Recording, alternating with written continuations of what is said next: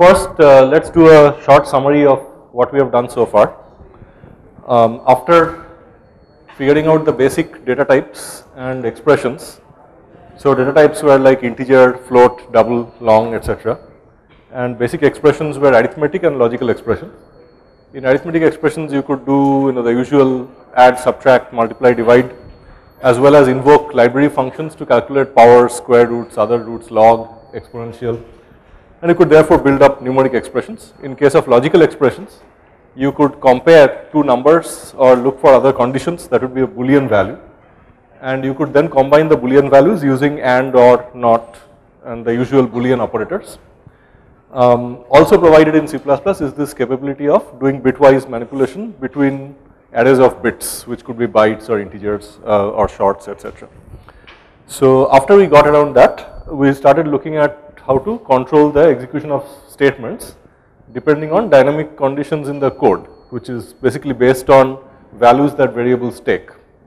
Uh, and that led us to the if then else statement and then the switch statement followed by the looping constructs while and for. Um, as some examples of using these constructs simultaneously in writing interesting or useful programs, we saw these examples. So printing numbers to any radix in particular decimal, binary or hexadecimal, uh, raising a number to a power and we saw that you can do it in a couple of ways. Uh, the squaring trick gave us a logarithmic number of multiplications in the input uh, power whereas if you just did it linearly uh, 1 power by 1 power you would take linear time.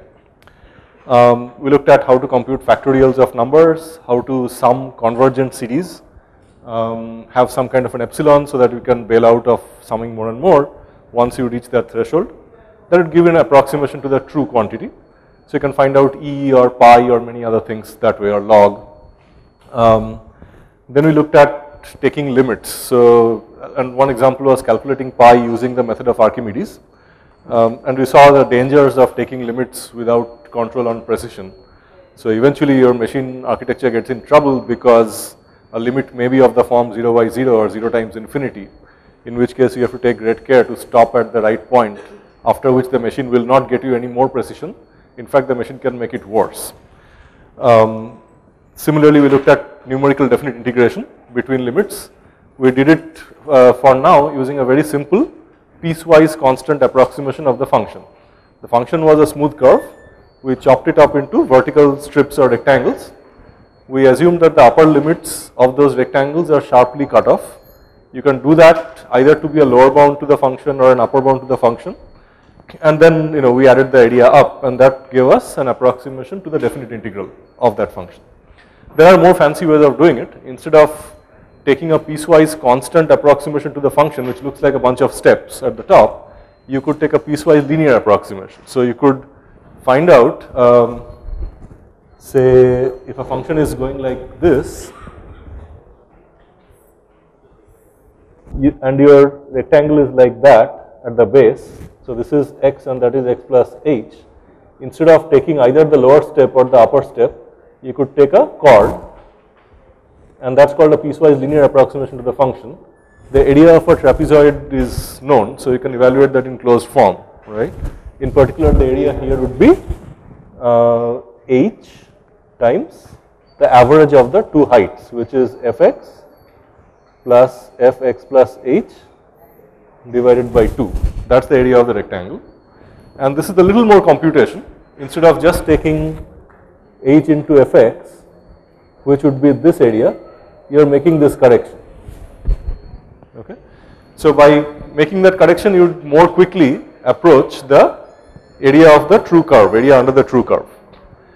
So that is how you do uh, definite numerical integration and you can go further than that. Instead of a first order approximation, you could make a second order approximation using part of a parabola. So the higher degree polynomial you use, the better fit you will get to the original curve. That is the understanding and there are numerical methods to do that. So there are more and more precise ways to do definite integration. Okay. Um, then we looked at computing discrete series recurrences. So then we looked at computing discrete series recurrences. For example, the Fibonacci series or migration of population between two cities. Anytime you can express a current quantity as a function of some recent quantities. That's the kind of pattern where you set up this sort of updates, you don't need to remember the whole series back to minus infinity. You can just remember the last few values and then we looked at this shifting trick by which you reuse a small set of variables to track what's happening to the series. Okay. Um, then we looked at greatest common divisor and how using numerical properties or number theory properties can help us write invariants. Uh, you get an original call to GCD of m comma n and we establish certain relations between what happens if you divide m by n and so on. We transform the input and we continue with that. That is what is called an example of tail recursion. So when we come to general recursive functions, we'll see other examples of that. Then we started looking at nested loops. One example of that was to compute the value of pi again by uh, dividing the plane into a bunch of fine grid points and summing up the number of grid points inside a disk.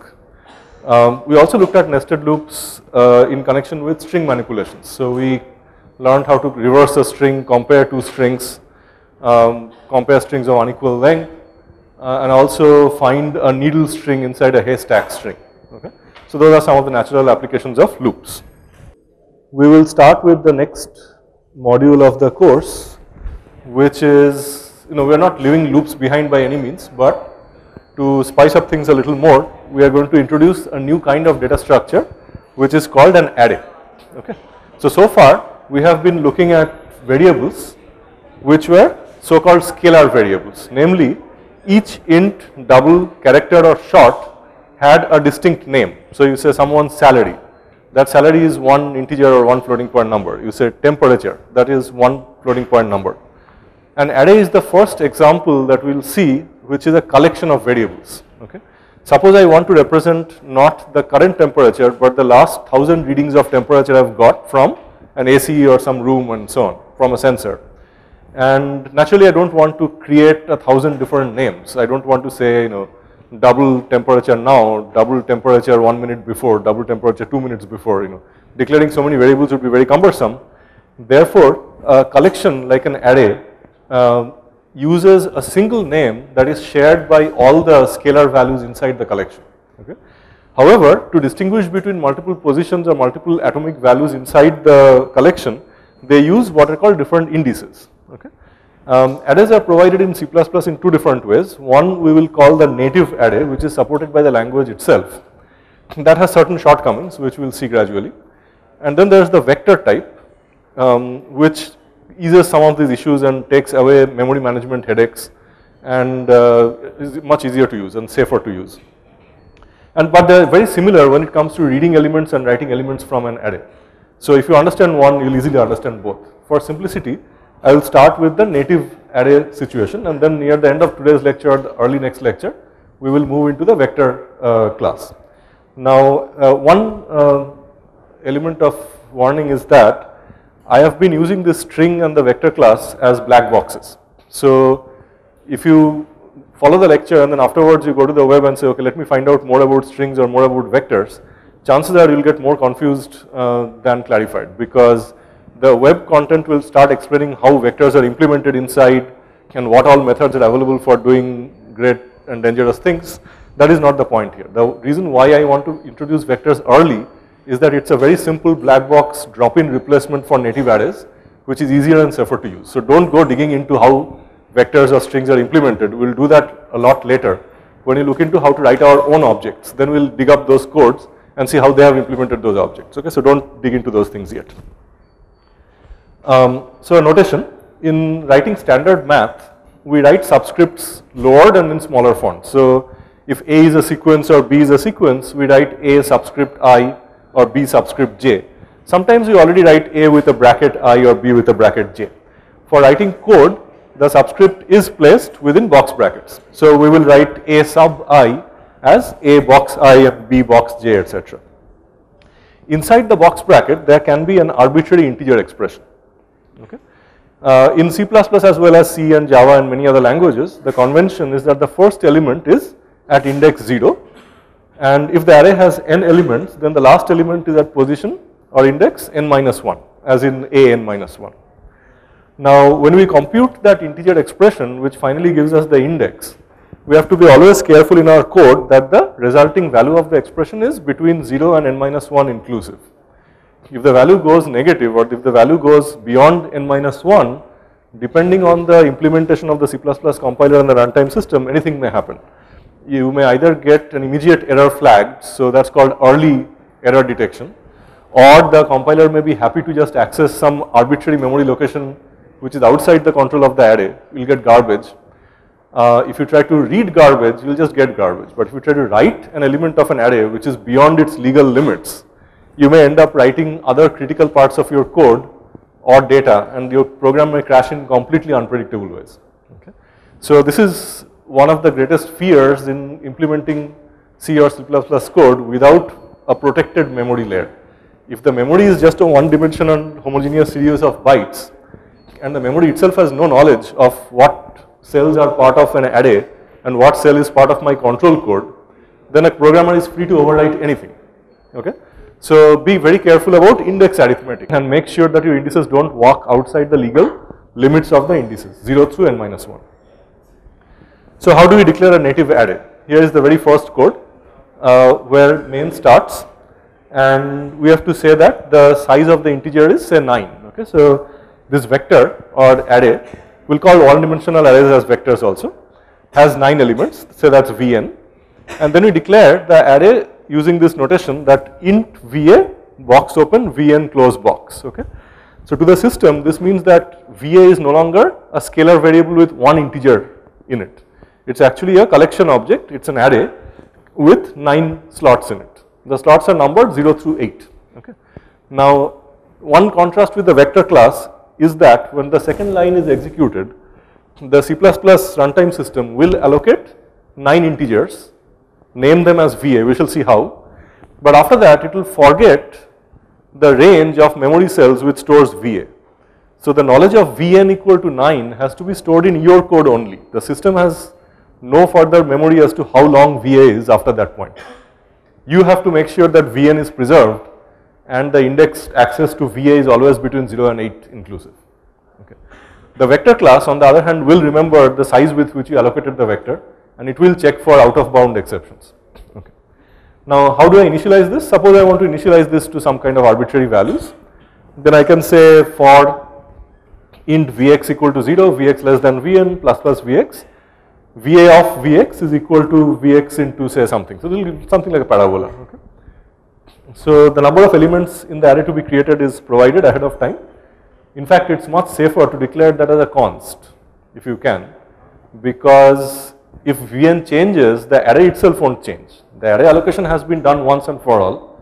The array is exactly 9 elements long.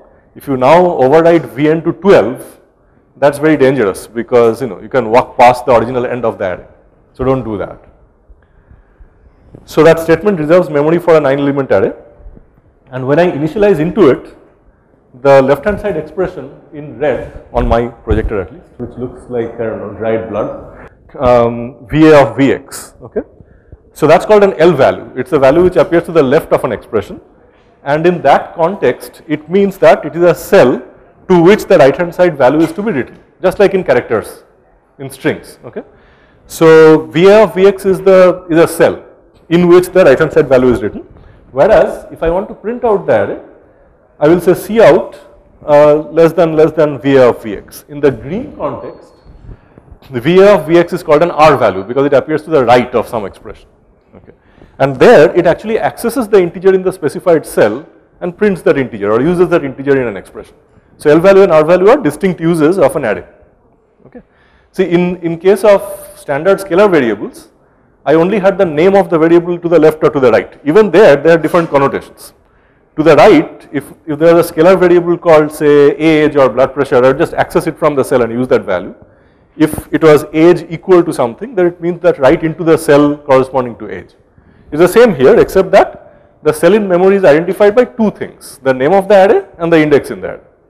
Okay. How that is done we will see in the next slide.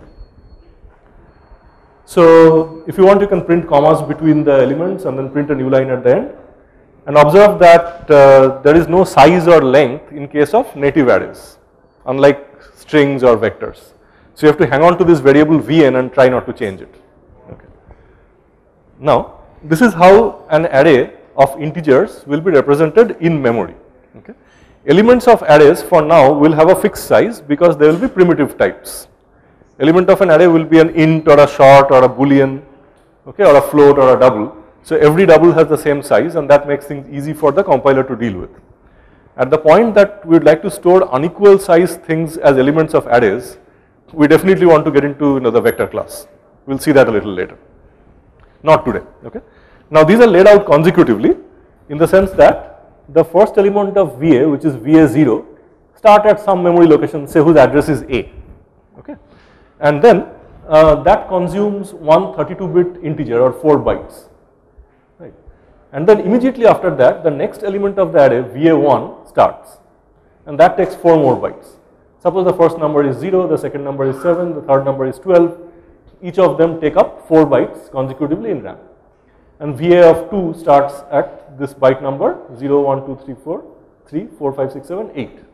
Okay. So to fetch VA of IX where IX is a legal index, we go to the byte address corresponding to the VA or A plus IX into 4. Okay. So this should be capital A. We will see this in code and we will see how this executes. So because each element is 4 bytes long, to go to element ix, you have to say i plus a plus ix into 4. You don't do it, the compiler does it.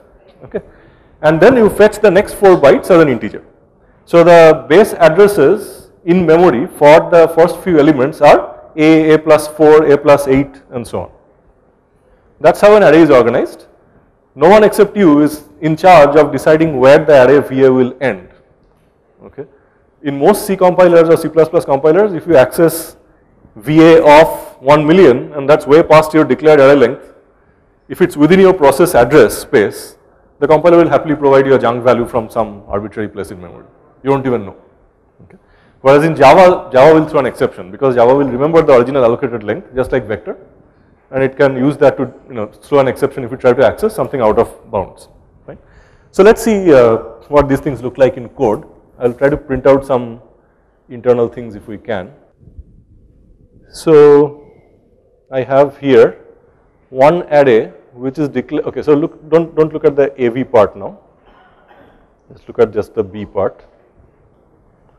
So I declare a length of B as a constant which is 10 things and then I declare this integer array BV with size Bn. At that point the array will be uninitialized, okay. In Java if you do this in a suitable different notation, you are guaranteed to get zeros in the array. C or C++ for efficiency reasons don't initialize it at all. Whatever the state of the memory is, maybe you know some other process exited and you inherited that space, some garbage will be there. So to use this correctly, you always have to initialize the values. Then you initialize, as I was saying, bx equal to 0 through bn minus 1, some arbitrary expression which looks like a parabolic function. Okay. Now, um, I print out the same thing and then at the end of printing out each things without a new line, I finally print a new line. Fine. Let me try one more thing which is I will just print out BV itself just like that without printing out BV of an element. I will print out just BV and see what the system gives me. Okay, and I will comment this out. Sir, Yes. sir, when we already defined the BV of BX, Mm -hmm. sir, for when we have to print it out, we have to again write that for. Yes. I mean you could combine the two but generally speaking you do some operations here right. So if you are initializing and printing it immediately then you do not even need an array if there is nothing no other piece of work being done. Otherwise you work on the array and then you print out again in a for loop okay. And just for testing I will print out BV itself to see what happens okay. Now I compile this, I run that so you see that initialization is like a parabola. So at the beginning it's 0 and then you know 9, 16 etc coming down to 9 again it's symmetric up, up about some point okay. And then when I print BV itself without any qualification it prints this crazy hexadecimal number okay. This is that base address A okay. Remember your address itself is an integer it's a it's a it's a count of a byte inside your RAM it's a location number okay. That is the location number. So this number is always printed in hex because in, in the system um, base 10 does not mean anything. Usually base 2 is good, base 2 take too large to print. So the convention is addresses are printed in hex. So that is the base address. Okay. Now, to give you uh, just an indication of why this address scheme is used, suppose I do something like this. So if I say BV plus 1, okay, that actually, although you should never use it, BV plus 1 means the base address of the second element of the array. BV plus 0 is the base, starting point of the array, BV plus 1 is the next element, BV plus 2 is the next element and so on. So let me try to compile this and see what it prints.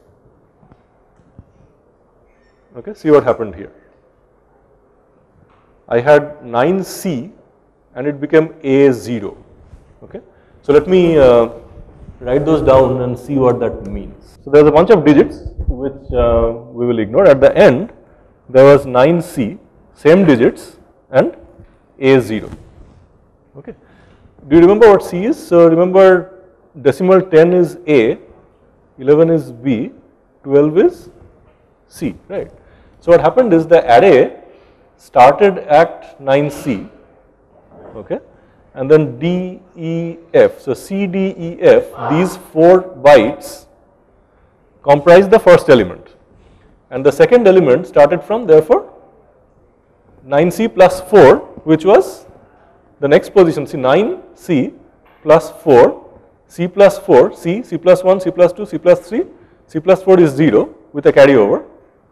With a carryover of 1, 9 plus 1 is A, right. So that is how the second uh, position in the array is at address uh, this. Okay, so I just uh, printed out the BV plus 2 that became 820 to 824. Okay. So another way to write this is to say what is the address of BV box 1 and this is the same notation for that. We shall see all this later on, do not worry about this. The operator for an address is ampersand and you can say BV1 like that. So what is the address of BV1? Okay. For address again C++ uses the AND symbol. So see the problem is they overload all these symbols to mean very different things in different contexts, single ampersand, double ampersand, whether it is used in a binary operator context or a unary operator context, you know, the meaning changes. Just to compile this and run, it will print exactly the same thing. But did you observe what happened here? I just did two different runs, the address changed. Okay. However, the difference will always be 4 from one to the other. So you run the code again, the operating system allocated a different patch of memory to hold this array. So the absolute address changes, but the relative offsets between different elements will remain the same. So you should never bank on finding a specific address to be at the beginning of the array. The array could be placed anywhere in memory. So that is internally how arrays are implemented. That is the plumbing for the arrays, native arrays. So is this absolutely clear how arrays are implemented? So the summary is that an array is one name which refers to a collection of values. The values are stored in cells which are stored contiguously. In basic arrays of native data types, each cell has the same length in bytes and given a array name and an index, you can always do a basic multiplication to decide the starting byte address of every element. Okay. And also C++ and C are sloppy about remembering the length of the allocated array, so you have to take care of it. Okay. So to give an example again of that, uh, remember this array was of length 10, right? So suppose at this point I uh, suddenly decide to output, let us see what happens, BV of 20. Clearly there is no such thing as BV of 20. I still compile this. I find some garbage there. I run it next time, there is a different piece of garbage there. Okay. On the other hand, the thing that you have initialized that is not garbage. No matter where the memory is allocated, you have filled it with the same value. So that is reliable. Okay. If you access something which you did not initialize, that is a problem. Okay. The worst thing would be if you try to write BV of 20. You may not even own BV of 20, that may not be legally in your address space. Good operating systems should prevent you from writing other people's memory. But yes. Sir, when you try to access DB20, Hmm. will will picking up any random memory allocation or will it start from the very? It will start from the same place. It will access, so in this case, In terms of memory, yeah, it will take 20 chunks of memory. it won't take 20 chunks. The original allocation was only for 10. Take- But there is a, you know, Yes, but beyond that there is always some system memory. so after like 10, Huh. takes another 10. That's right. Yes. So to give you an impression, so suppose I first print out the address and then I print out the value. Okay. So if I compile that, so these two differ by 20, you can verify that. Yeah, they'll differ by 20, but the value you get here is not something that you own, so you can get some arbitrary garbage. So the worst thing is to write into BV20 something. Okay. I imagine Linux is good enough to prevent you from writing dangerous areas of RAM, but because I don't want my computer to crash in the middle of the lecture, I'm not going to write into BV20, but you, you can try. Okay. Yes. You can access any part of the RAM even though that the operating system itself is using. No, so OS's own RAM should be protected. Typically what will happen is your own RAM, if you if you, you also allocated that chunk of RAM, it belongs to you, but it is improperly or not initialized, you will be allowed to write it. In some cases, you can clobber your own control structures. So your code can crash in some architectures. The code can crash, okay, Hmm. will it interfere with the working of the system? Can I write? It should not. In good operating system, it should not. It should be isolated. Okay. So this is this is how arrays are implemented, and so you have to be careful about the index and where you are accessing memory. Okay. So now again, let's go through a number of examples of uh, how to write basic operations on arrays. So remember 1D array vector we'll use interchangeably. Suppose ARR is an array which has size an. Um, suppose you want to find the sum and product of all elements. So by now it, this should be quite trivial. So I say for integer ax which is the index between 0 and n minus 1, I can say sum plus equal to array ax, product star equal to array ax. In standard arithmetic uh, mathematical notation we write this as sigma i equal to 0 but less than n either you know sum of ai or product of ai. So what used to be this small line of notation becomes a small piece of code. Okay.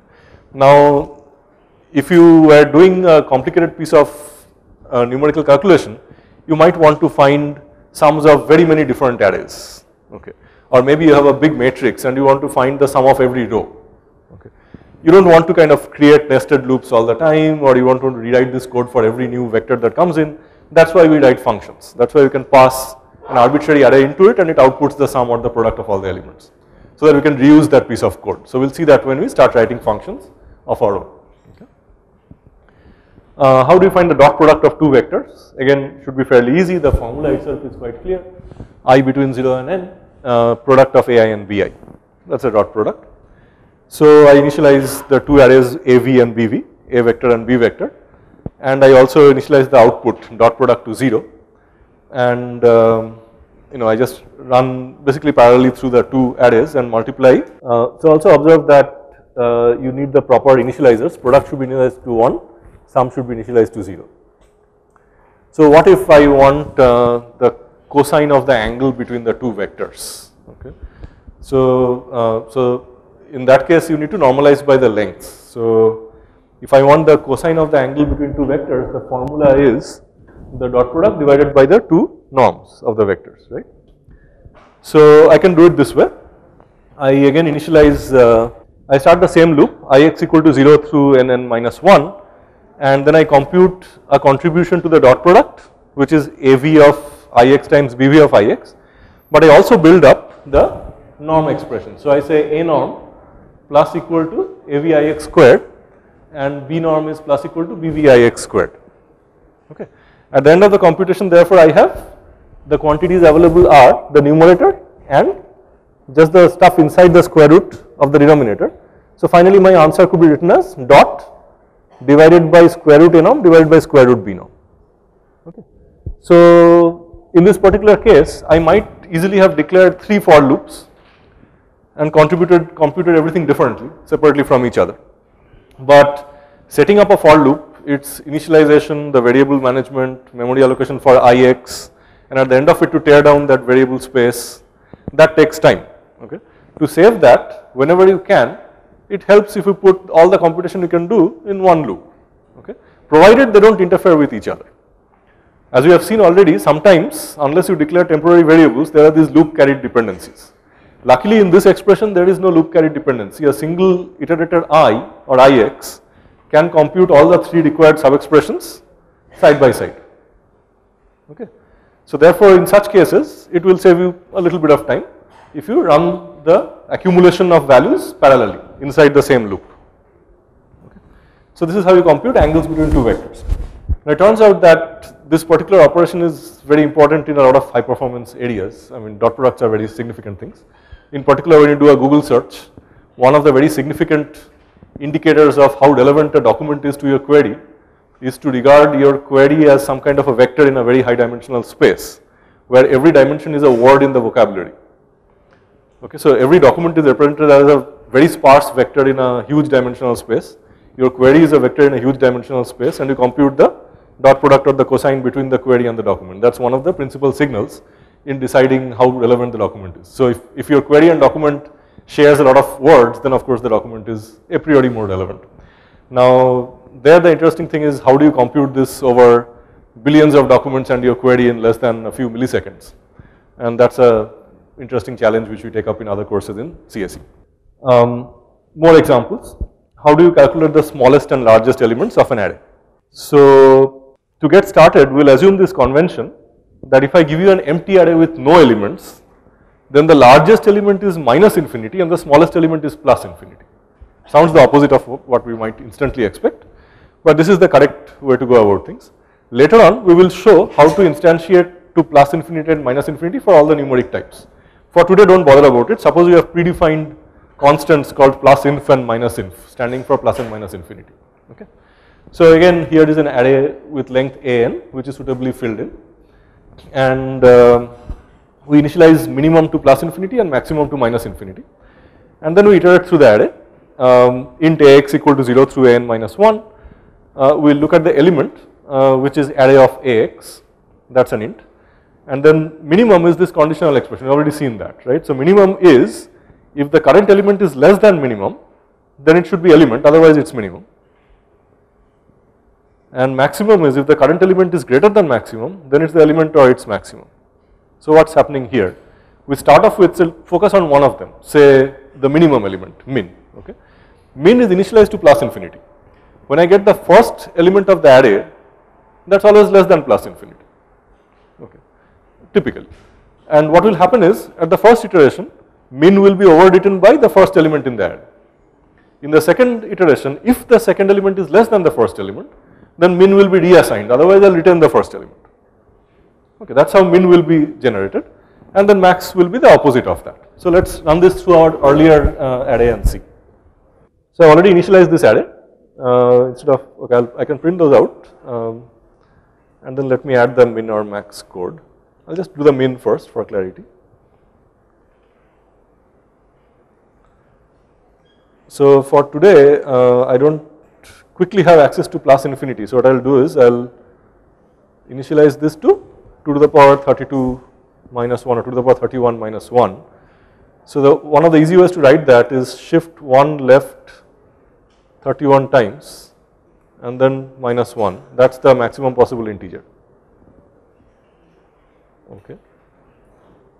Um, the other thing you could do equivalently would be to look at the minimum integer which is 0x 8 or if it is an int I can do 7 FFF FFFF that is also plus infinity right. That is the only plus infinity integers can represent after which you run this through I will just do min I will take off the max so we can trace it nicely. So let me print out the following.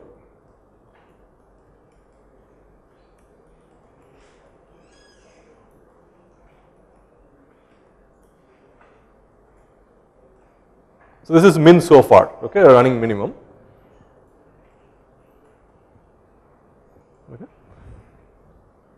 So I initialize minimum to plus infinity effectively and then I keep resetting minimum to the minimum of element and minimum itself. So if element is lower than minimum, I will set it to the element. Oops. Uh, something strange happened here. Oh, uh, AX and AN.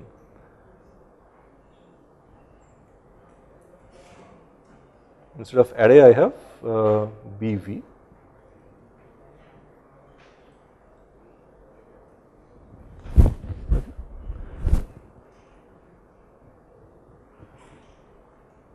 So first it prints the array and then the junk. So the element is 0 and the minimum has now come down to 0. Minimum used to be plus infinity, right? Uh, and that's it, minimum never changes. The first element is the minimum. So now let's also put in the maximum.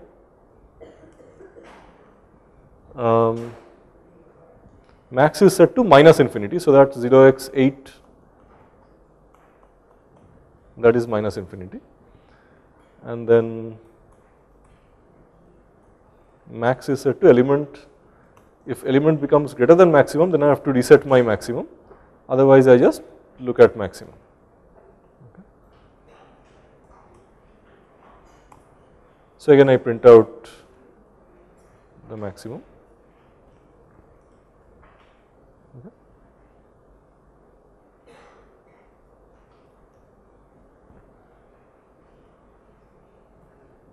So what happened here? Uh, after reading 0, see maximum started out being minus infinity. So every time I see a 0, maximum goes to 0. In the next iteration, let me switch off the minimum printout to make things clearer. So element is 0, maximum is 0. It jumps up from minus infinity to 0.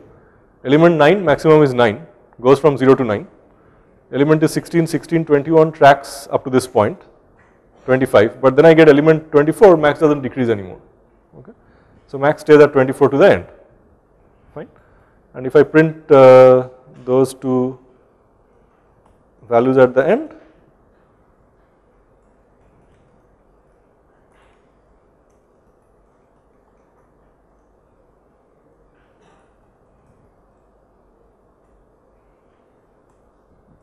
I get 0 and 25 the smallest and largest values. So clear what's going on? So this is how you get the smallest and largest elements. What if there are ties? Do you care if there are ties? Well, there was a tie. In this particular case, we seem not to care. There's already a bunch of ties in the elements, right? So here is 16, there is 16. But the maximum and minimum were the same. So let's try one thing. Let's uh, change this to um, maybe an odd number. See what that does. Say 9. See the advantage, the other uh, piece of advice is that you'd never want to, you, you never ever want to write a piece of code where you declare an array with a constant number inside there. You always make it declare it as a variable ahead and use the variable because someday if you do that you are going to change this number and forget about the limit somewhere else okay. So your code should never have bare constants like that in there okay. Bare constants like minus 1 and plus 1 you will need for array index manipulation but those are relative constants. You should never decide on the size of data structures inside your source code as far as possible. If you do have to do that then you do it in one place so for example, here I changed 10 to 9 and I am pretty sure that I have not done anything specific to 9 in anywhere in the rest of the code. Okay, that is very important. Otherwise someone else will modify one part of the code, it will be inconsistent with the number somewhere else and then you will be walking outside legal RAM and so on. So see what I did here is that this 9, the size of the array appeared in exactly one place with one variable named bn. Okay. Nowhere else I used the property of 9ness without referring to Bn. Anywhere else 9 was used, it was used as Bn. Okay. So therefore, if you want to change the size of your array tomorrow to address a larger or smaller data set, you can just change one place and be confident that no code will misbehave. Okay. So never declare bare literals in your code which correspond to data structure sizes. Okay. Bare literals will appear in array arith index arithmetic, that is okay, because those are relative. We will see some examples of that. So if I change the array size to 9 and then I say compile this, now what happens? See there are two maximums now. There is only one minimum 0, but the maximum is now at two places and maximum is found properly. Okay. So, what happens in the code is that see max as if element is greater than max. Once max has been assigned to 20, the next max is ignored because it is not greater than 20 strictly. That will do your trick. So, in general duplicates are not really a problem in this game. Okay. If there are ties, so be it. We might want to remember however the position or the index of the smallest element, suppose you want to do that. So, given a double array between 0 through n minus 1, suppose we say find the index i min where the smallest element lives. Okay. So, this time I must remember the current smallest position as well. It is not enough to just remember the smallest value min, I have to also remember the i min which is the index at which the minimum value appears. And I can start it off with any illegal value like minus 1. Minus 1 is not a legal index to any array, it starts at 0. So you can start it off with minus 1 and then uh, of course you also have double a min which is plus infinity. And then I do the following loop, I say for int ax equal to 0, ax less than uh, equal to an minus 1 if the array element is less than the currently known minimum value then reset the known minimum value to the current array element and remember the current index ax in i min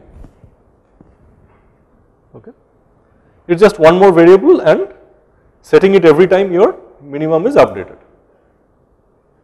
clear so, and then finally I min will hold the answer. So, let us go back to uh, our code and run it there. So there is no need to initialize I min. If your array turns out to be empty, then you might want to signal that with an illegal value at the end. So, suppose uh,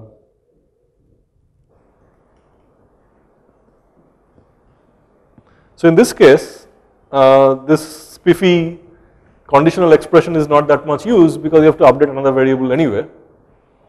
So in that case you can just write if uh,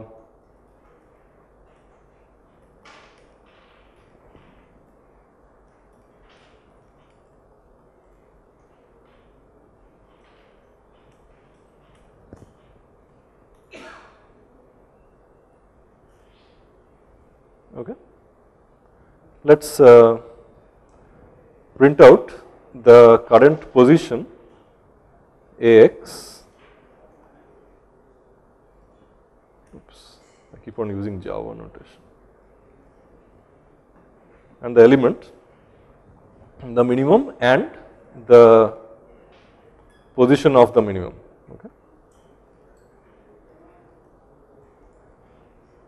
And we will forget about the other printouts.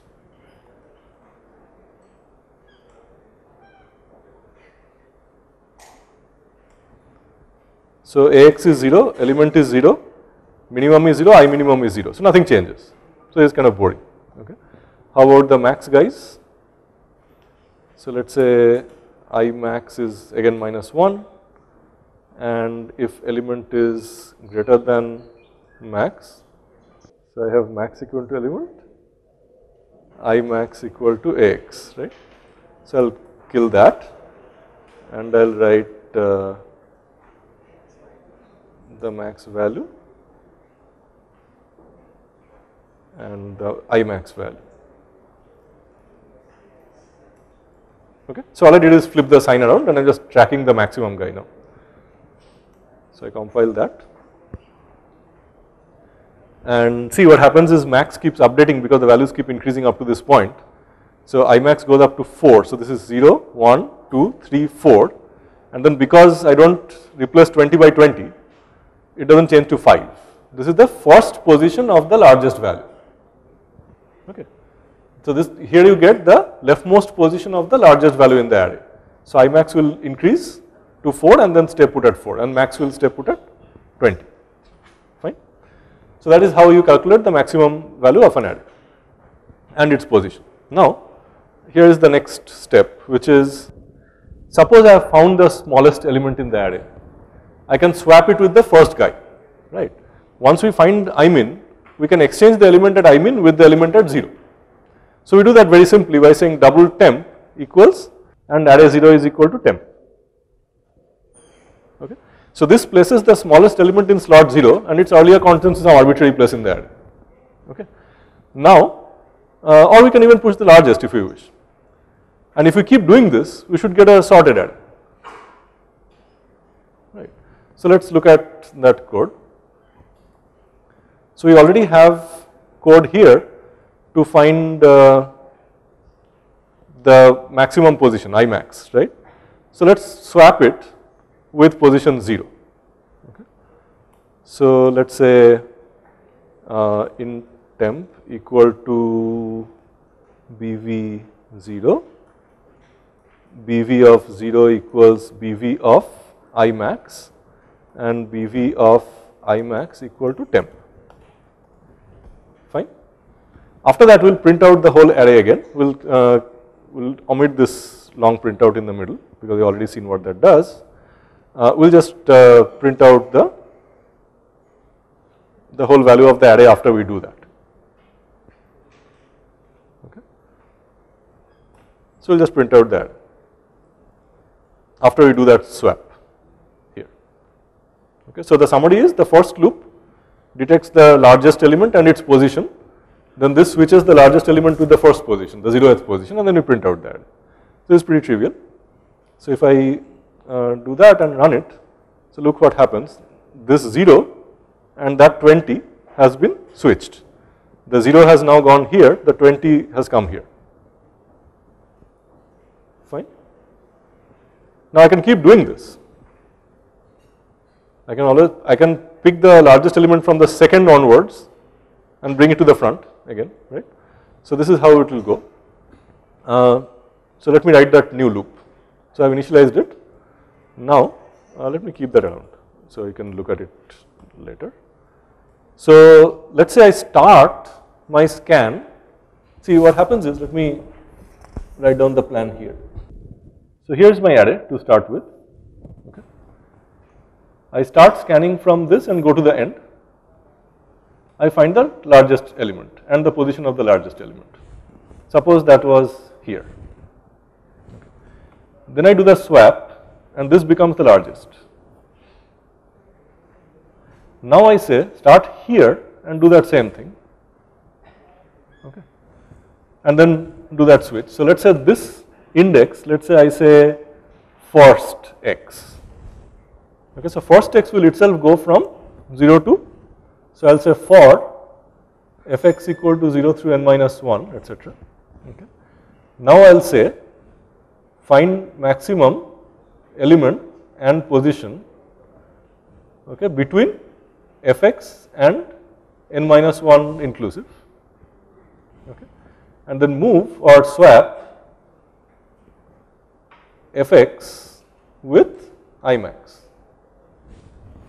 right? That that's the broad pseudocode that i'm after. Right.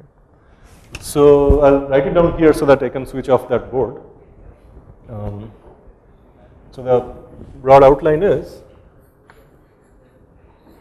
for first x equal to 0 through n minus 1, okay, uh, find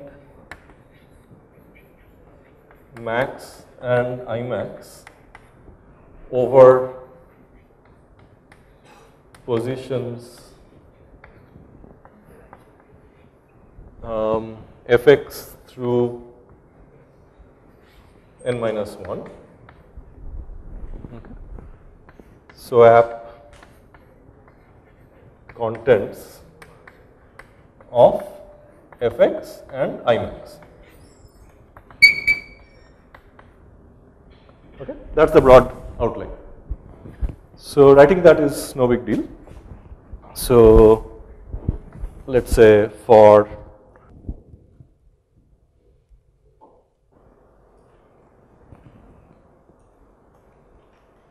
So, set up the fx loop. Okay. In that, I now need to find the maximum guy and the position of the maximum. And so, I cut and paste this inner loop. So, I do not need min, let me switch that off. I max is equal to minus 1, max is equal to minus infinity. Okay. Now, I scan, where do I scan from? I do not start from 0 anymore. I start from fx okay and then I go to the end of the array and I look for the maximum and remember the maximum position as usual okay. So now I can okay this ends and that ends. Now here I have to do something at this point I know you know I have Imax correctly initialized. So here I swap and fx okay. So how do I do that? I just cut and paste this code now this is not 0 anymore, I was just doing fx, right? And then bv of fx is imax and so that swap remains, okay? And I don't want to only print it at the end, I am going to say see what happens after I pull up each of the uh, top elements to the top, to the left, fine? So the first part of the loop is find position of max uh, between fx and bn minus 1. Okay. Then swap imax with fx and print and then I, fx will automatically be incremented here. Fine. So let us compile this and now if I run that, so the original array was this order. Uh, after the first step, this 20 comes to the front. After the second step, that 20 comes to the front. Then this 14 comes to the front. Okay. Um, sorry, uh, this 18 comes to the front. Okay. And then at the end of it, you see that the first so many positions are in sorted order. The largest things are coming in. And so at the end of it, you get the 20s, 18s, 14s, 8s, and 0s. Okay. So this has now become sorted by decreasing order. Right. So that swapping you did the for loop inside the for loop because see every time I finish that I have to swap fx with the current maximum. you would have found the, the same sweeping Huh. from minimum and maximum and then done them also. So steps would have been five. Yeah, by a factor of 2. So that, that's something I wanted to discuss next which is what is the total time taken in this operation. Okay. So see the when you read this kind of code you should look for how the how many times each loop is executed. Okay. Now what happens is the outer loop clearly goes from 0 through n minus 1 so that is about n steps okay. And then inside to detect the maximum I have to run another loop which in the which also goes from 0 through n n minus 1 and then the swap itself takes constant time okay. So the total time is n squared okay. So the total time taken by this algorithm will be n squared. Now how do we uh, know how bad that is? So let us try the following. So I will start off with say um, say 100 elements and let us time that.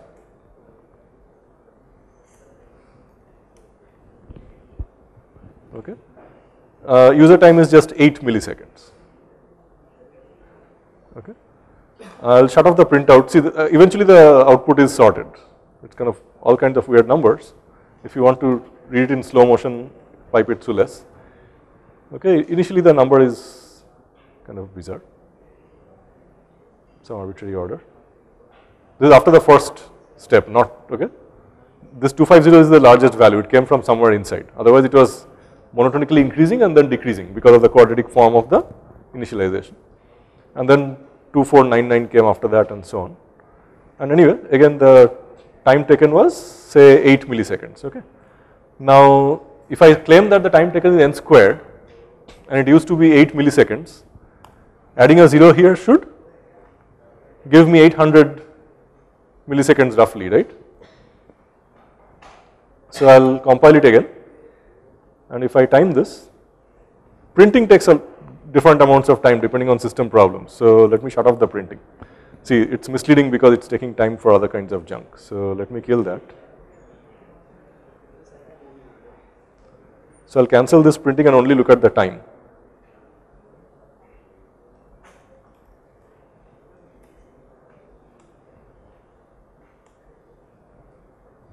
How did that happen? See earlier time was taken with the prints. Now that I have cancelled the prints I should restart from the old code. So printing takes a lot of time, lot more than CPU work because display is slow. Okay. So if I take 100 elements It may be in fact be too small 2 meter, 0. Okay, I can sort 100 elements without any time, that is not true of course. So let us start with 1000, okay, see how long that takes. So 1000 now takes 8. So there is a granularity below which the system does not even measure very properly. So let us say 1000 takes 8 milliseconds. If I make it 10,000 and compile it, oops, uh, there is something else going on. This also has to be cancelled. Even printing a new line takes time. Let me go back and switch this to 1000. So this is another thing which is in measuring time you have to be very careful. In, later on in the course we will have a few comments on measuring time accurately. So now it claims 4 because that new line printing is gone. Okay. Uh, now if I do 10 times and compile again. Okay. So now it's about 800. So this 4 is too small to measure properly. So let's stick to uh, say 0.8 seconds. Okay. So suppose I had about 0.8 seconds and now suppose I double this, then the time should be 4 times about. So, let us compile this.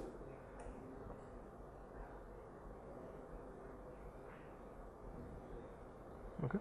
It is strictly not, it, it, could be slightly more than quadratic because of the swap time and all that stuff. So, there is a little bit of linear component also, it is not strictly x squared, it is x squared plus some ax, that is the time taken. Okay. So, we uh, took n elements and we wrote our routine to sort it which was taking about n squared steps. Okay. Now natural question to ask is how fast can you do it anyway? Okay, is it possible to sort much faster than n squared steps? And here is one kind of argument. Okay. So see every time I am comparing two elements A i and A j that is the unit of decision. Okay. A comparison can go one of three ways less, equal to or greater than. For simplicity assume that all the elements are distinct so you never compare equal unlike in my example. Just imagine they are all distinct elements. So every comparison gives you two possible outcomes, right. Now you could think of some arbitrary piece of sorting code as making a kind of decision tree saying I am going to compare two different elements either it is going to land up less than or greater than. Then I am going to strategically choose two other elements, I am going to compare those and depending on that I will do something okay in an abstract sense any sorting algorithm is doing this. It is comparing two elements at a time like we are comparing minimum or maximum with some element and then it is deciding what to do based on that. So every decision increases the size of your space by a factor of 2 okay. So if I, so in any particular execution of the code you run down one path depending on what value you see you take the suitable steps okay. So if I take L steps, clearly the number of possible outcomes you can handle is 2 to the power L. L is 0 here, L is 1 here, L is 2 there and so on, right. Now to sort n elements, what is the possible number of sorted orders of the n elements, n factorial, right. If the original numbers were in some arbitrary order, their sorted order could be any of the n factorial possible orderings, okay. So to be able to handle all possible permuted inputs, I must have that 2 to the power L is about equal to n factorial otherwise I can't handle all the situations. Okay. Now if you solve for this you will basically get L log 2 is equal to log of n factorial which is about n log n. So this tells you that algorithms which use comparison between elements to sort they cannot possibly finish sorting in less than about n log n steps. This is independent of what algorithm you have. I am not making a judgment about a specific algorithm. Okay, that is called a lower bound. No algorithm can be better than that. Meanwhile, we had an algorithm which does n squared steps. So clearly there is a gap between n squared and n log n. And in the next week or week after, we will look at more smart sorting algorithms which actually reach this bound and they can sort within n log n steps. Okay. To give you just one idea about how that can be done, you can say pick an arbitrary element in the array find all elements which are less than it and find all elements which are greater than it. Put all the less elements on one side, put that middle element and put the right element and now keep doing that. Okay, now take the left part which is not sorted, sort it, take the right part which is not sorted. So that algorithm actually achieves n log n. So, we will see all that later on in the course. Okay. Now, um, let us go past to look at yet more examples of how arrays can be useful. So, any questions about finding the position of the smallest or largest element and then remembering the position and using it to swap it so that you get sorted arrays. So, just to write down a short summary, here is an array.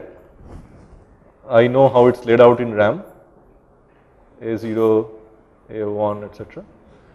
I know how to write this expression or I can use A as a R value. I know how to pick the minimum and maximum from an array. Okay. I know how to remember their positions. Once I know that I can take the maximum and do a swap with the first position and then repeat from the next position okay. and that gives me a sorted array. So, we will actually go back to simpler examples now. So, here is one problem where I want to compute. So, given an array A between 0 and n minus 1, I want to compute another array B where Bi is the cumulative sum or the prefix sum from A0 through Ai. Okay. Now clearly I can do it the expensive way which is a double loop. Okay. So the double loop will look like this. So the problem statement is clear, right? So suppose I have my old array A which is equal to say 0, uh, 9, 2, 5, 6. Okay. I want my B array to be 0, 0 plus 9 okay 0 plus 9 plus 2. Okay.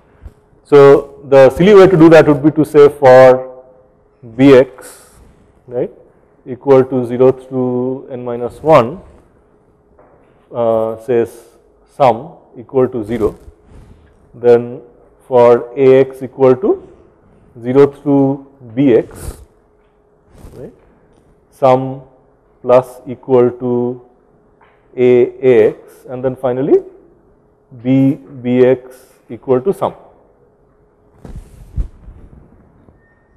Surely that will do what I want, but clearly that is not necessary. Okay.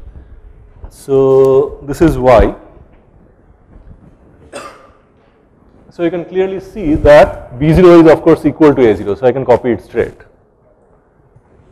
But when I want b1, instead of taking a0 and a1, I can take b0 and a1 and that will give me a0 plus a1 effectively.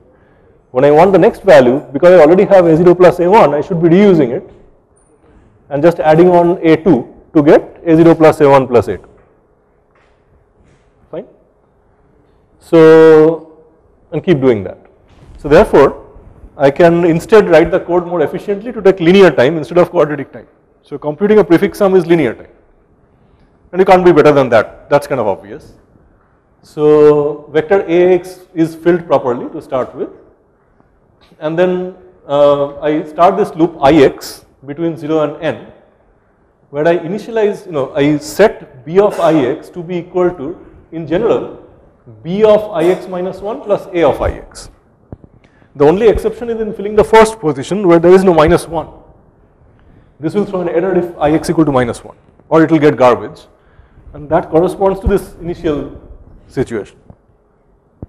So the rightmost position will not give any trouble, the leftmost position will give trouble because ix is equal to 0 and ix minus 1 is equal to minus 1 which is that illegal value it is trying to access from the left question mark. So to handle that we will help it out, we will use this conditional expression where we say if ix equal to 0 I will supply a 0 as a base case because then the sum will be turn out to be correct. So the first b0 will be computed as 0 plus a0 so a minus 1 is implicitly defined as 0. There was no real a minus 1, I supplied the value from the side. So if ix equal to 0 then I get 0 otherwise I get b ix minus 1. So that red part of the expression here corresponds to that red question mark with the first arrow. Okay. So let us uh, write the code for that again there is always an app for that. So I will uh, comment out the rest to avoid distraction.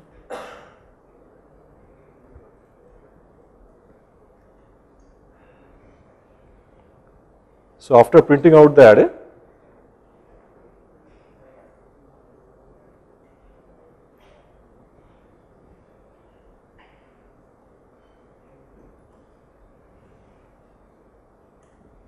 So here is the original array.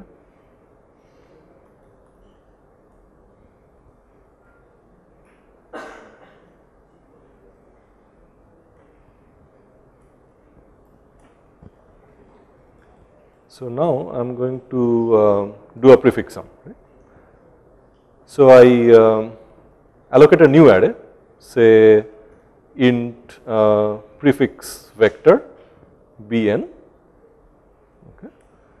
and then I do for int px equal to 0, px less than bn plus plus px. Uh, what was the code again? The code was uh, the prefix vector is this, right? So let me just copy and paste that. So as so this is actually PV of px equals if px is 0 then I supply a dummy value of 0 from the left and the stuff I am adding up is pv uh, px minus 1 plus uh, bv of px. Okay. So and then I will print out the two let us say one after the other. So here I will print out pv instead. BV and PV. So B is the original vector in the code and P is the prefix sum. So the important loop is this one. I declare the output prefix vector as this array and then at every position I look at the prefix at the previous position plus I add in the value at the current position. If the current position is 0 then I can't go left of 0 therefore I supply a 0. Okay. So if I compile that and run it, oops, too big, too big. Uh, we can probably handle 10 elements.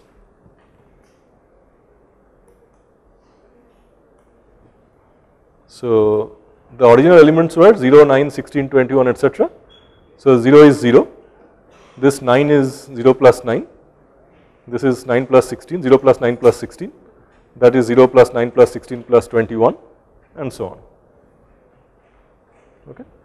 So there is no need to use quadratic time to compute a prefix sum, you can reuse the last value and keep tagging on the next number, that is the summary of mm, this segment. So why are prefix sums useful? Of course when you look at your passbook in a bank, that is arranged by time and withdrawals are negative and deposits are positive and the balance is always a prefix sum from time you know, minus infinity or whatever when you open the account. Okay.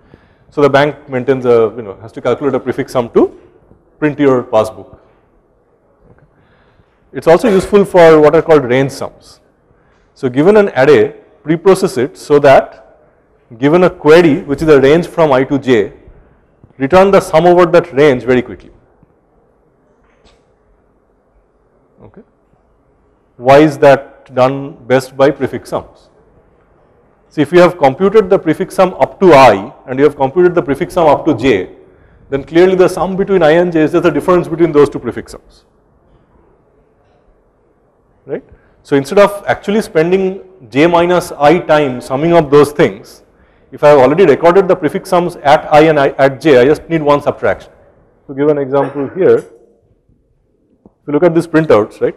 So this is the original array, that is the prefix sum. So if someone tells you, asks you, what is the sum between positions 1 and 3, okay, 0, 1, 2, 3. The sum between this is 9 plus 16, 25, so the sum is 46 between these locations. Right. Let us not take the 0, let us take something else. Let us say the sum of these two numbers, 16 and 21, right, that is 37, okay. But 37 is also 46 minus 9, okay. So to calculate the sum of any contiguous segment here, take the corresponding number here and subtract the number one position to the left of the left point. Okay. So that is a very fast way of computing the sum of a segment and that is very useful in some applications. You will see that in some exercises. You have to calculate the prefix sum ahead of time before the queries arrive and that takes linear time. That, that whole thing would have taken quite a lot of time, right? Yeah, sure. The point is you pre-process once, but then you can answer everyone's query in constant time. Okay, the, the pre-processing doesn't depend on the query. The pre-processing is done only once. You just calculate a different array. Okay. In fact, as you can figure out, there is no need to preserve the original array. You can reuse the original array to compute the prefix sum, and you can always recover every number from the prefix sum by subtracting the previous number. Right. So in the same space, you can rewrite the prefix sum, and then you can solve range queries like this. So what's the time now? It's 25. So we'll stop here and next time we'll take up this interesting problem called the Josephus problem where people stand in a circle and then you count every fifth person and remove them from the circle and see who survives to the end. Okay. We'll see how to solve that using arrays.